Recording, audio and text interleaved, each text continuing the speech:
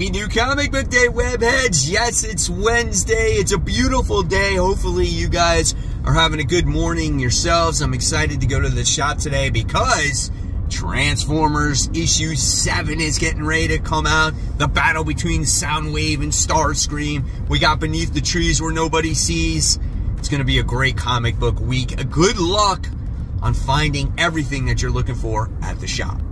Welcome to Spider Slayers Comic Book Haul fans. This is episode 633, the video series where each and every week I share with you what I pick up at my LCS Comic Central located in the city of Sanford. So if you guys are ever in the Central Florida area, stop by, tell Mike Spider Slayer sent you. You'll get great customer service, you'll find great books, and you will also get a mysterious black bag, and inside will be those comic book guys. I am so excited for this current comic book week just because of Transformers in itself. I'm hoping we get the outcome that I'm praying for, right? So not only did I get one, but I got two mysterious black bags. So let's go through the smaller one first because I think it's got the bagged and boarded issues and the backs, uh, the back issue stuff. So here we go. Little stack right there. This book is quickly becoming the cover that I constantly get, it's getting up there to like Angela, the first appearance of Angela.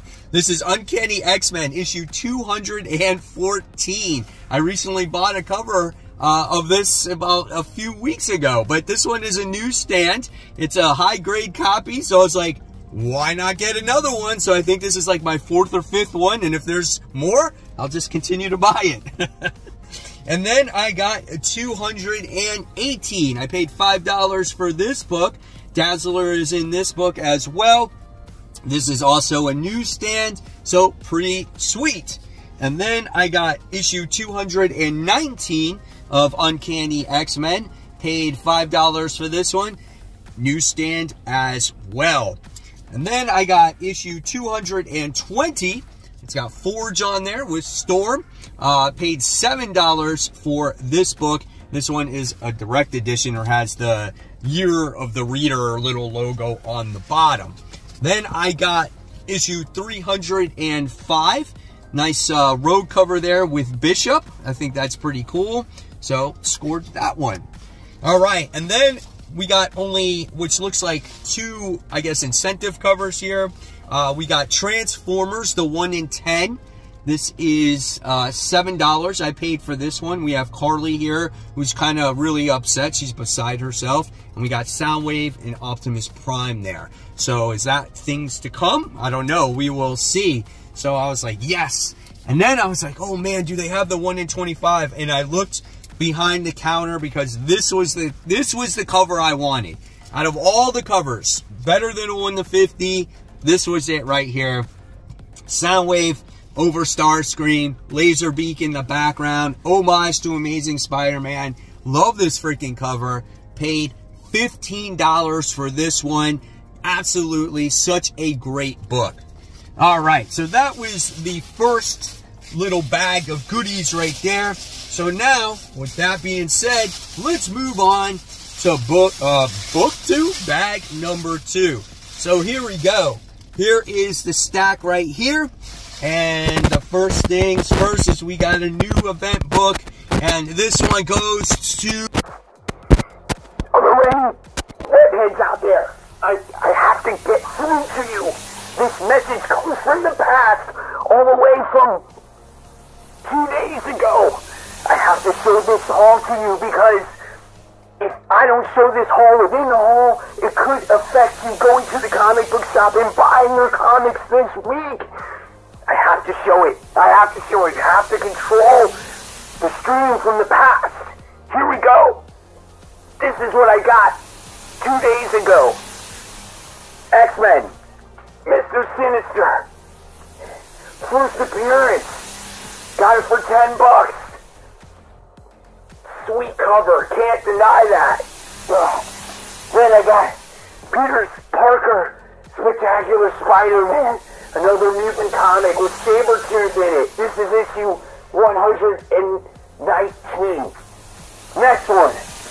Another comic book that has another mutant in it. Hold on, you have to finish watching this.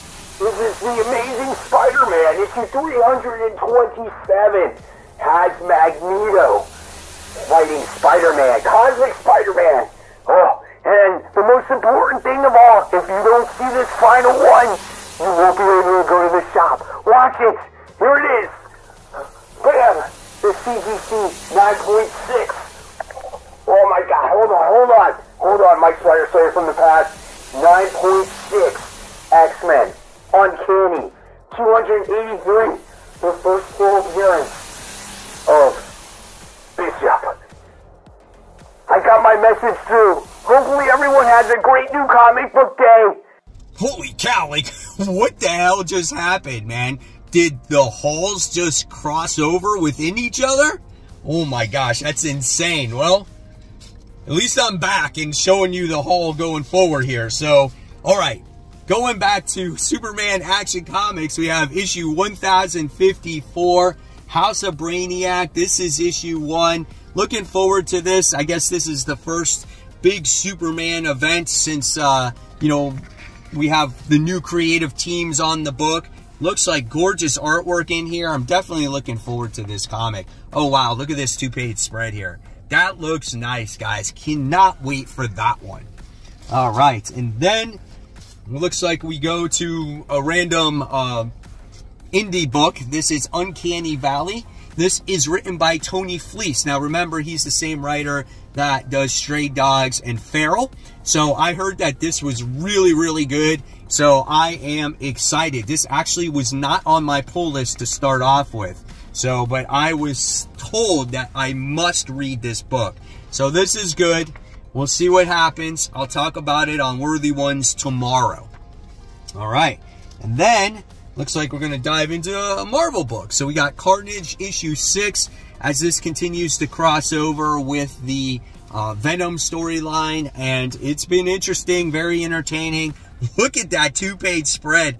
Holy cow, man. The art is phenomenal in that. So yeah, again, it's all crossing over and uh, it's a pretty dark book. I would recommend it. It's pretty solid.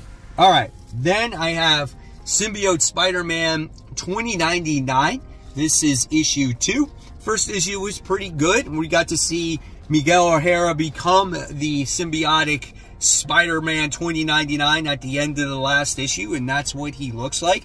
Almost looks like a little bit like Magneto there, right?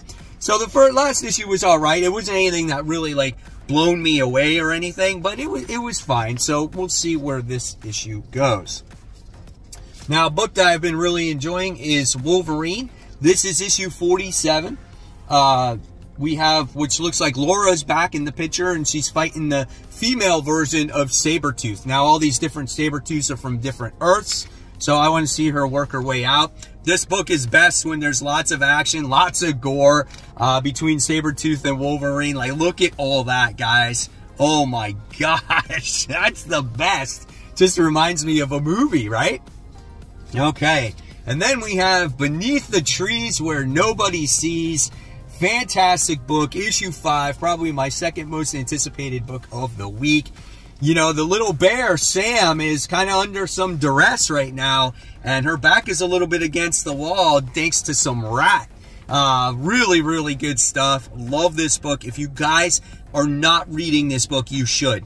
There's first, second, or there's there's second printings of the first, second, and third issue. I suggest you go to the comic shop, find it, and read it. And if you can't get those second prints, then wait for the trade. But this is one of the best books this year. Another really solid book, we have The Return. Uh, The Return. This is Mighty Morphin Power Rangers The Return. This is issue three. Really solid book as the Pink Ranger makes a return here. And it looks like our Power Rangers lie dormant for like 22 years. And it looks like they're going to have to be forced to um, use their powers once again. We got, uh, is it Rita? Rita Repulsa? Looks like her daughter's in this book. So I like it. I think it's really good. You know, I don't even think you have to be a longtime Power Ranger fan to understand anything that's going on in here. So definitely looking forward to that. All right, guys. So with that being said, it's now time for those Facebook group shout outs. Our first shout out of the day goes to Jim, and he said, I saw someone else in the group put a picture of their comic room. I thought I'd share mine here as well. What a great looking room, man. I like seeing everyone's comic rooms in the Facebook group. It shows that your guys' rooms are a little bit better than mine. I have a, literally a little space in the garage. And then we have Dan who says, Great to meet Ken Lashley today at Rose City Comic Con in Windsor, Ontario, Canada. Excuse me, can't read. Ken really appreciated his fans and is the real deal. Respect, brother. That is super awesome, man. Pretty cool. Thank you so much, Dan, for sharing. Then I have Simon here who says, sharing pics of my comic room here in London. Love the group and seeing everyone's posts, but most importantly, seeing Mike's videos each week. That is sick, man. Thank you so much for sharing all your posts, guys. And then I also have Terrence who said, Took my daughter to the comic book shop for the first time and she loved it. There is nothing better than taking a kid to the comic shop for the first time. I remember taking my daughter and my son, and it's just like opening their uh, opening their eyes to a whole new world. It's very important to get that next generation in those comic shops. And if you guys want to get shouted out on future hauls, just head on over to Facebook. Search for my group called Comic Book Corner 2.0 Webheads Unite. And when you guys answer a few of the community guidelines and I look over and make sure you're a real person and I approve you, then you will have access to this wonderful comic book community where we show about the eclipse that most recently happened. We show some great comic book art. We show some statues. We show stories from the past, our comic book hauls, our CGC slabs, our stairway to heaven for comic books. You guys know the picture. And again, most importantly, you'll never know when you could get shouted out on future New Comic Book Day hauls. All right, our next book here is by Rick Remender. This is Napalm Lullaby. This is issue two. The first issue, like, you had real no idea what the hell was going on until you read almost the letters page. And hopefully now we really get a, a concept of who these brother and sister actually are and what their mission is at hand. If this second issue doesn't really grab me, then I'll probably might drop this book. So we'll see uh, where this one does go. All right, then we have one of my favorite DC books, and it's not many of them. There's Green Lantern. This is issue 10. Um, solid book. We just got word last issue that we have um, Earth is the actual backup Green Lantern battery, and our Green Lanterns are the guardians of this backup battery. And I think that's great because what's going to happen is we're going to get all these different lanterns that we haven't seen for years and years. They're going to wind up being in this book. And right away, you get to see JoJo Mullein. You get to be Simon Baz in here. Uh, Jessica Cruz is in here. So we're seeing more and more of the lanterns that we've been missing for quite some time now. So Jeremy Adams is doing a banger of a job here on writing this book, and I can't wait to see how this thing continues. Then we have Batman and Robin. This is issue 8. We have the return of Flatline. She's teaming up with Damian in here, and they got to try to stop Man-Bats. Uh, nice looking artwork. They're also teaming up with that mysterious character, Shush, uh, in there. So, yeah, we'll see. But the artwork is nice, like I said, and I'm looking forward to it.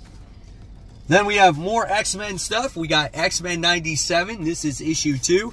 Nice little cover, once again, with Wolverine and Saber, uh, Sabretooth.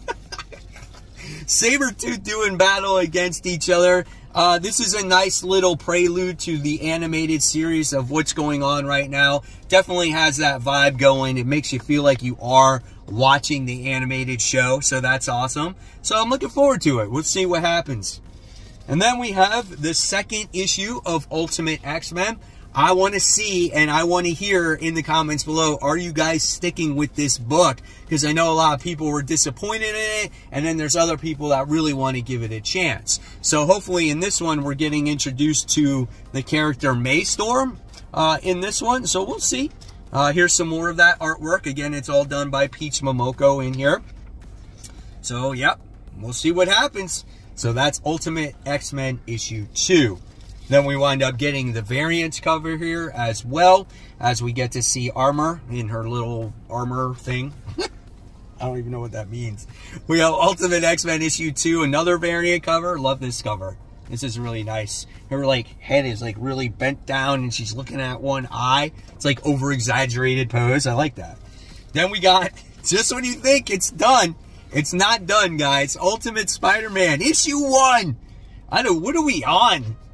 The fifth printing on this comic book? Like, dude, I have no idea where we're at on this one. Somewhere around there. I'm trying to see if it says it. But whatever. It's like fifth printing, sixth printing, whatever. We're going to go on to 15 printings in that. All right. And then we have Thundercats. This is issue three. We're going to see where Thundercats goes, guys. We got introduced to the new uh, Thundercat, which I think is being controlled by Mumm-Ra in here. I totally forgot her name. Uh, Lion-O still struggling to be the leader. Panther still trying to deal with him being the leader and not a little kid anymore.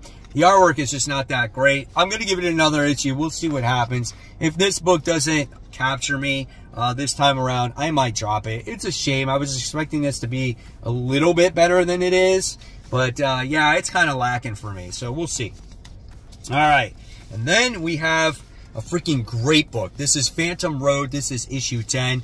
Love these two characters here. You know, they've crossed paths. They come effect this artifact. They found out it's an egg. The egg hatches. And now this little alien thing, like, has their memories and they're connected by their pasts. It's just, yeah, that's the way the little alien baby thing looks. Dude, it's freaking sick. This book is great. It doesn't always come out every single month, but it is so good. Dude, the coloring looks really light in here. Is there a printing issue or is this just like a past, like a faded memory or something? I don't know. We'll see. So I love this book. Done by Jeff Lemire. Definitely another recommend, guys. All right, let's see what else we have. We have the new Spawn book. It's like Spawn 2099. Rat City issue 1. This one is not done by Todd McFarlane. This one's done by Erica Schultz and uh, here's what you can expect in the artwork. So this guy's like a soldier. He's an amputee. Al Simmons did some kind of, I don't know, magic stuff to where his symbiote goes to his, like, his uh, amputee, like, into his, his prosthetic legs. And then now he becomes somehow the, uh, the spawn of the future, which looks like. So, I don't know, man we'll see. This could be a fun story. looking forward to seeing how it's different from any other Spawn book. All right, and then we have more Marvel. We have the Invincible Iron Man. This is issue 17. Love this book. We got to see the Mark 72 in action. They're trying to fight Orchis. It's just an all-out brawl right now, man. It's just, you can feel the back against the wall. Unfortunately, the artwork is definitely a lot different in this issue. We got a guest artist, and the way I'm looking at this art, it's not my favorite artwork here. But we'll see what happens. Who does the artwork in this one? Patch Zircher, guest artist. So, I don't know. We'll see. A little heavy on the inks for my taste. All right, and then we have the Incredible Hulk. This is issue 11. I'm really down on this series right now. I could really use some Nic Klein artwork, and we just don't get it, man. We still get the same artist on this book. Last issue had no action. We have Hulk investigating this, was it Frozen Charlotte character or whatever it is. And now maybe it looks like they're fighting each other. There's been really no story progression in this book. I'm definitely I want to like it so bad. I like don't want to drop it because I have hope that it's going to get better, but it's just not, you know? It's like, come on, man. And then we have Edge of Spider-Verse. We get the introduction to Star Spider. This one's got like a spaceship with it, you know? I don't know. Maybe this is the next big spider character. We'll see if she sticks to the wall, if people tend to like her. You know, but yeah, she has a ship that's like a, a spider. but the artwork looks good in it, man. I like the suit and everything. Pretty snazzy, if I should say so myself. So pretty cool stuff. All right. And then we have the amazing Spider-Man with the greatest cover of them all. Yeah, hopefully you know I'm being sarcastic here. What is up with this cover? My God, Hallows Eve just looks atrocious. And then like Chasm, oh my Lord. But uh, we got the interior artwork though, it's much better. So, and it looks like maybe we're going to get these two characters back in here. Does Peter go on a date? I don't know, man. There's a lot of standing around talking. He looks nervous. Let's hope the issue's good. So far, I don't see any Spider-Man. Oh, he's changing right there at the end. I don't know, man. We'll see. Then I wound up getting this variant cover because I thought it was cool. Homage to West Coast Avengers issue 1. All right, and then we had to get a couple more of the Transformers covers. Obviously, we wound up getting uh, the main cover. Love this cover with Starscream uh, destroying, which looks like maybe Ravage here. That's not what I want to see, right? Do I show you artwork?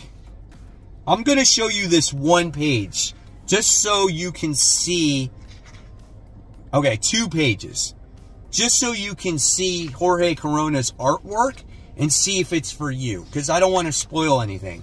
So here you go. It looks pretty good. There's not too much which feels like a change. There you get to see Kup in there. We get to see Huffer. So that's really cool, right? The coloring is the same, same colorist. So Mike Spicer does the coloring. So there you go. So hopefully this doesn't change too much for you. I'm excited, man. And then I wound up getting the main, the other variant cover here where they're on the ship. And that's it, guys. Hopefully you enjoyed this haul. I'm sorry for the interruption from Mike Spider Slayer in the past, but, you know, he had to get his message across, right? So, guys, I want to know what you got this week in the comment section below and what you're looking forward to most reading. And as always, I'm going to leave you more content right here. This is my top 10 most anticipated comics for next week. And as always, guys, support the local comic shops. Keep buying, keep collecting. Always remember to read those comics so we can have awesome conversation when it comes to comic books. Guys, have a great new comic book day.